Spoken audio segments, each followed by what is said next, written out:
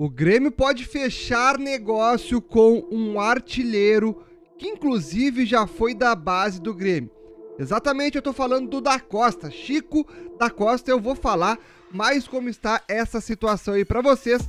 Mas antes, gurizada, eu quero dar um super recado da Cena. Exatamente, nosso patrocinador aqui do canal, a Cena Sport Bet. Eu peço para todos vocês aí que se cadastrem, porque Todo mês, aí para o pessoal que está se cadastrando, vai ter um sorteio de uma camisa oficial do Grêmio. Eu tenho o nome de todo mundo aqui que está se cadastrando.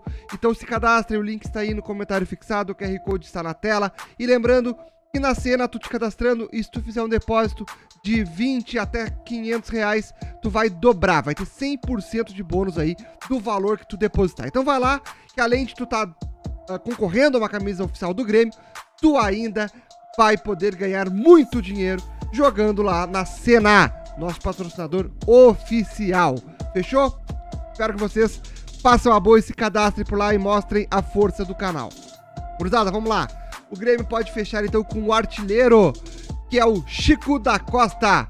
O centroavante vem jogando em alto nível lá no Bolívar, vencendo o artilheiro da equipe boliviana. Então, este é o jogador que tem 29 anos, do Bolívar, lá da Bolívia, que é o novo alvo do Grêmio. O Pedro Raul foi descartado pelo Imortal, até também pela repercussão negativa que teve. Se existisse alguma possibilidade, o Grêmio já descartou. Pedro Raul não vem, além também de ser um coloradaço, né? Então não vai vir Pedro Raul. Então o Grêmio visa agora o Chico da Costa. Grêmio está em conversas iniciais. Iniciais. E o Chico já sinalizou que quer jogar no Grêmio. Exatamente. O brasileiro Chico da Costa fez a maior parte da sua carreira jogando em países de fora do Brasil. Ele passou pelo Atlético Paranaense, Tombense, São José, Inter de Lages e Operário.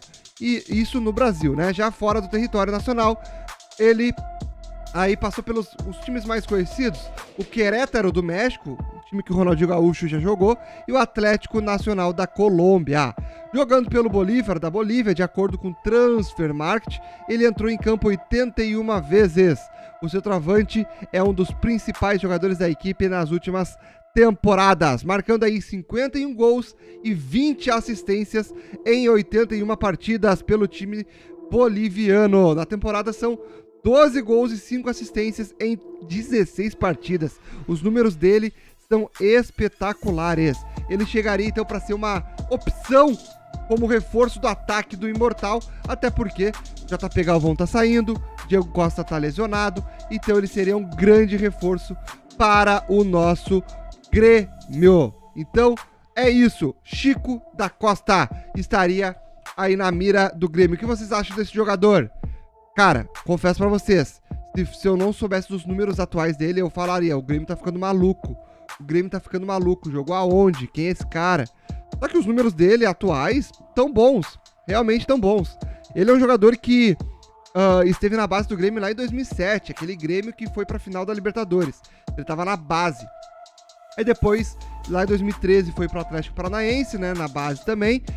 E aí, profissionalmente, estreou aí no Atlético Paranaense e depois fez a sua carreira, como a gente trouxe aí alguns times. Não teve um grande clube que ele passou, não teve um grande momento da sua carreira, mas ele com 29 anos agora deseja vir para o Grêmio, um jogador que nasceu em Taquari, no Rio Grande do Sul. Comenta aí embaixo o que vocês acham. Chico da Costa teria um bom nome para o Grêmio? Sim ou não? Quero saber a tua opinião. Eu acho que pelos números atuais, cara, vai fazer gol. Eu acho que vai fazer gol. Já vai fazer muito mais coisa que o JP Galvão. Então, vem, se é para somar, que venha. A gente quer jogador que queira jogar no Grêmio, que venha com aquele intuito de fazer gol. Porque o cara que chegar no Grêmio hoje já sabe, ó, oh, eu tenho que fazer gol. O mínimo que eu tenho que fazer é gol. Que o JP Galvão não tá fazendo.